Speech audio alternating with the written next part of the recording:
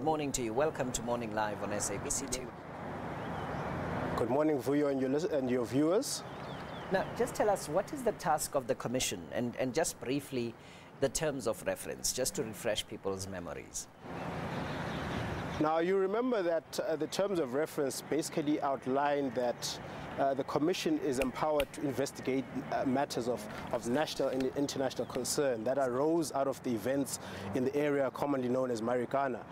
So now, as a starting point, you, we are going to look at the, the conduct of a number of, of, of entities that are affected by this. Firstly, the SAPS, uh, you know, whether, uh, you know, there were acts or omissions and, uh, you know, legislation and, and, the, and the scenario that, that resulted in, in, in, in, in, in the tragedy and the shooting.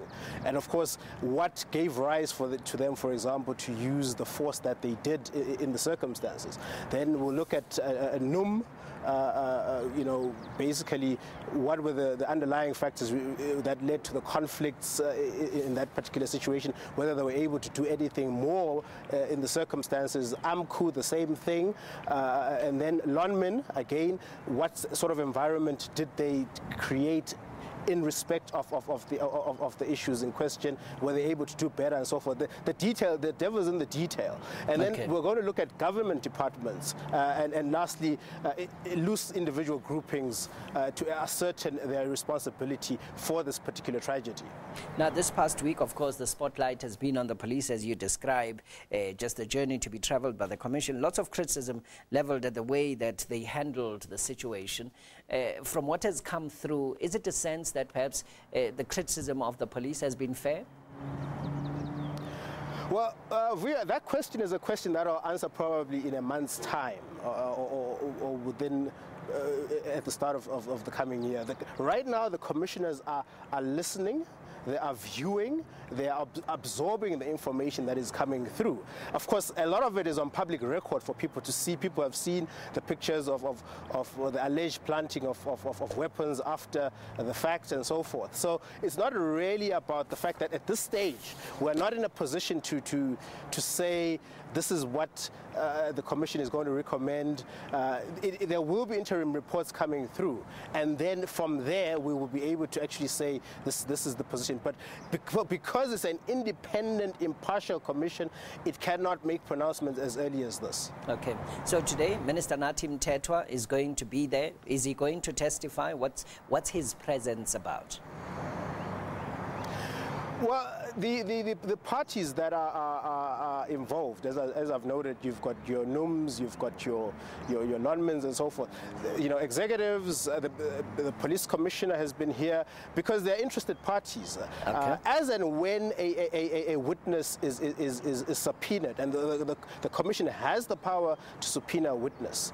so the minister is to, not subpoenaed, he's just coming there as an observer for the, for, for the moment, yes. Yeah. Cyril Ramaphosa. The fact that in future Again, with, with Mr. Ramaphosa, it really depends on any one of the parties or the commissioners to actually issue a subpoena. Uh, and alternatively, as Mr. Ramaphosa himself has made himself available to, to, to actually uh, testify before the commission. But as I've already said to a lot of individuals who've asked me this question, his role is uh, and his input is not really a priority given what we are doing right now. Remember, right now we're looking at phase one or theme one of the commission's work, which is really uh, examining the events from the 9th to the 16th of, of, of August uh, uh 2012. And there we're looking at uh, uh, the facts that led to the events themselves, the accountability, for example, investigating the lawfulness of, of, the SAPS action.